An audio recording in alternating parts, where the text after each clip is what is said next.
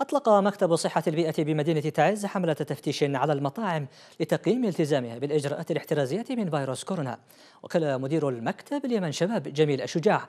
إن الحملة تمكنت من ضبط عدد من أدوات الطهي وكمية من البضائع المنتهية. وأضافت أن المكتب سيتخذ قرارات الإغلاق في حال عدم الالتزام التزام المطاعم بالإرشادات التي تضمن السلامة.